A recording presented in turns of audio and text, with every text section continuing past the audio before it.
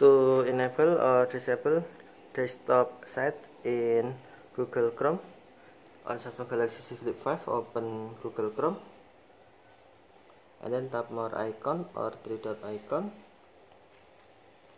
Next on desktop set check to enable or uncheck to disable.